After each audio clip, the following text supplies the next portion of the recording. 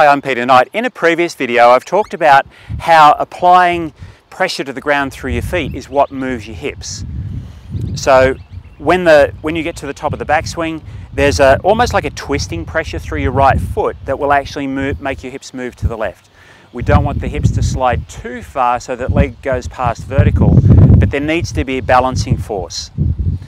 Now, I just want little bit about what happens through the left leg and the left side that will actually help stabilize it. The vast majority of players that I see when they swing the club is they'll swing the club back. As their downswing begins, their balance will shift out toward their toes, and typically, as the balance moves toward the toes, the body will straighten up. So, how should the pressure move through your feet? When I set myself up, my balance is either going to be about 50-50 left foot to right foot, maybe a little bit more on the left is fine, but not a massive amount of difference. Let's say 55-45 is okay, so anywhere between 50-50 and 55-45 is fine. If I also consider my balance heel to toe, when I set myself up, I want my balance to be 50-50 heel to toe. So when I stand like that, if my balance is even on both feet and even heel to toe, I should feel like I'm standing very solidly, very flat-footed, but, but certainly solidly on the ground. Now when the club swings back, I've got more pressure on my right foot, my right leg now, and into the ground on the right side than what I have on the left.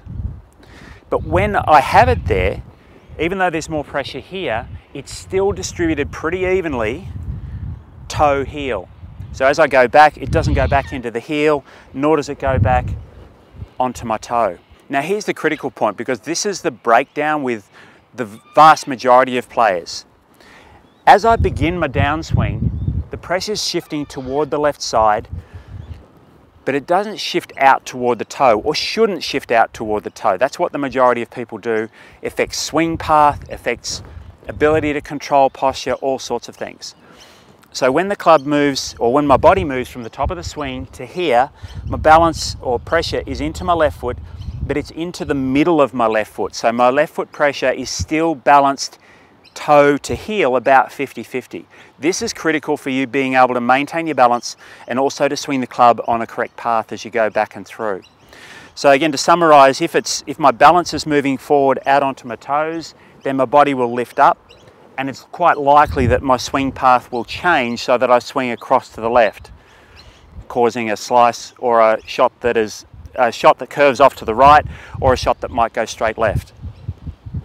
If my balance goes toward my heels, then my posture will change and again my, uh, my swing path will be affected. Most likely my swing path will go slightly to the right of the target, creating a, a shot that goes straight right or a shot that, that hooks. So practice setting up balance even on both feet. When you get to the top of your swing, balance is 50-50 heel toe on your right, when you're swinging down and through, balance is 50-50 heel toe on your left as you go through.